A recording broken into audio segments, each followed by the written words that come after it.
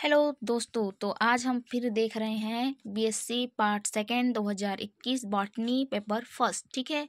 जिसमें plant taxonomy, economic botany, plant anatomy and embryology पढ़ते हैं, ठीक? हम, हमने ये सब अपलोड कर दिया है चैनल में, ठीक है? आगे हम बढ़ रहे हैं वी बीज, पत्री, जड़, डाइकोट या डाइकट, आप जो भी उच्चारण करें, रूट, डाइकॉट रूट। तो स्ट्रक्चर इसका जो है, ये चने की जड़ का अनुप्रस्थ काट है। ये सूक्ष्मदर्शी में देखने से ऐसा दिखता है, ठीक है? तो ये है चने का जड़। द्विबीजपत्री पादप का एक सामान्य उदाहरण है, जिसकी जड़ की अनुप्रस्थ काट को यदि आप सूक्ष्मदर्शी में देखते हैं तो संरचना हमें इस तरह से दिखती है, ठीक है? तो सबसे पहले जानते हैं इपीब्लेमा। इपीब्लेमा जिसे हम हिंदी में कहेंगे बाह्य त्वचा ये क्या होता है? सबसे बाहर का एक स्तरीय है, एक स्तरीय कोशिका है या फिर एक एक कोश की स्तर है, जिसकी कोशिकाओं में क्या होते हैं? रूट हेयर निकलते हैं। ये है रूट हेयर। इपिब्लेमा बाहर का स्तर है, एक कोशिकी स्तर, जिसमें रूट हेयर निकलते हैं। फिर देखते हैं कॉर्टेक्स। ये दिखिए कॉर्टेक्स। कॉर्टेक्स क्या होता है? यह बाह्य त्वचा तथा अंतस त्वचा मतलब इपिब्लेमा और एंडोडर्मिस के बीच का अवस्था है, जो कि बीच में स्थित होता है, या फिर इसमें क्या होता है? गोलाकार। देख रहे हैं यहाँ पे गोलाकार है। गोलाकार अथवा क्या होता है ये? बहुभुजाकार। मृदुत्व की कोशिकाओं का बना होता है। इसकी कोशिकाओं में क्या होता है? अंतरा कोश के अवकाश पाया जाता है। अवकाश मतलब बीच बीच में खाली जगह, जो कि इसमें कोशिकाएँ क्या करती हैं? स्टार्च का संग्रहण करती हैं, ठीक है? और इपीब्लेमा क्या है पूछेंगे तो आप बोलेंगे इपीब्लेमा, जिसको बाह्य त्वचा इसमें अभी थोड़ी देर पहले बताया ना तो इसमें भूमि से जल एवं खनिज लवण का अवशोषण भी करती है। बाहर का स्तर होता है, ठीक? तो आगे हम बढ़ते हैं, एंडोडर्मिस, जिसको बोलते हैं अंतस त्वचा एंडोडर्मिस वाला, ठीक है? यहाँ का वाला त्वचा, ए वाला नहीं सेकंड नहीं फ़र्स्ट नंबर वाला। तो अंतस त्वचा यह कॉटेक्स की आंतरिक सतह है, ठीक है? आंतरिक सतह पर पाया जाता है, जिसको सह, संवहन पुल के चारों तरफ़ से घेरे रहती है। संवहन पुल क्या को बोलते हैं? आगे मैं पढ़ूँगी तो मैं बता दूँगी, ठीक है? पेरीसाइकिल अब जानते हैं, ठीक है? इसमें देखिए, पेरीसाइकिल जो मैंने लिखा हुआ है, ये अंदर का भाग है।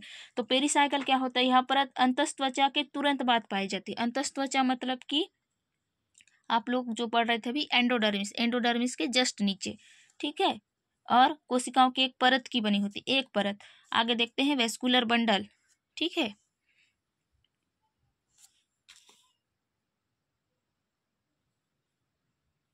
तो वेस्कुलर बंडल क्या होता है? इनके संवहन पुल में जाइलम तथा फ्लोएम एक दूसरे के बराबर और विभिन्न अर्ध व्यास पर स्थित होते हैं। जाइलम और फ्लोएम, देखिए।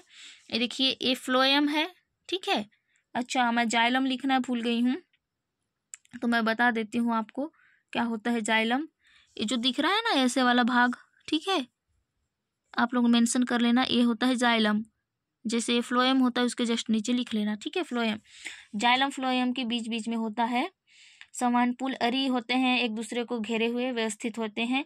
जाइलम क्या करता है? एक्सचार्ज होता है और फ्लोएम चालनी, नलिका, सखी कोशिकाएँ तथा फ्लोएम प्रेन काइमा का बना होता है। आप इसमें लिख सकते हैं प्रोटोजाइलम मेटाजाइलम फ्लोएम के नीचे, ठीक है? तो आगे देखते हैं कनेक्टिव टिश्यू या फिर संयोजी उत्तक संयोजी उत्तक क्या है? पूछे तो आप बताएँगे। जाइलम तथा फ्लोएम के पुलों के मध्य मृदुत की संयोजी उत्तक होता है। अब देखते हैं लास्ट में पित्त। तो पित्त क्या होता है?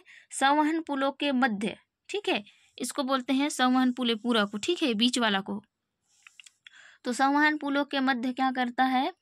एक कम विकसित होता है तथा मृदुत की कोशिकाओं का बना होता है जिसके अंतरा का अवकाश पाए जाते हैं। अब आप इसको लिखा हुआ देखना चाहते हैं तो मैंने लिख के रखा हुआ है। आपको मैं दिखा देती हूँ। देखो यहाँ से। ठीक है? देखो स्ट्रक्चर ऑफ़ डाइकॉट रूट इचना बाह्य त्वचा क्या होता है? अभी पढ़ के बता रही थी मैं। ठीक है? कॉर्टेक्स क्या होता है? इसमें मैं लिखना भूल गई हूँ। भूमि से जल एवं खनिज लवणों का अवशोषण करता है ये। ठीक है? अब देख लेते हैं। ये करता है, जो भी है काम देखो। उसके बाद ये अंतस त्वचा का काम क्या है? मैं लिख दी हूँ। पेरीसाइकिल क्या होता है? आप लोग इसको पढ़ना। ठीक है? मैं चित्र देख के आपको समझा रही थी। आपको लिखना भी है एग्ज़ाम में आया है क्वेश्चन ठीक, अब देखो वेस्कुलर बंडल क्या होता है. हिंदी में वेस्कुलर बंडल को क्या बोलते हैं? संवहन पुल. कनेक्टिव टिश्यू क्या है? कनेक्टिव टिश्यू को संयोजी उत्तक बोलते हैं. ठीक है मज्जा पित्त ये रहा आपका चित्र. आप चित्र थोड़ा अच्छे से बनाना, ठीक है? प्रैक्टिकल में भी आता है. चलो लंबा हो गया वीडियो बहुत बहुत धन्यवाद आप यहाँ तक यदि वीडियो देख रहे हैं तो.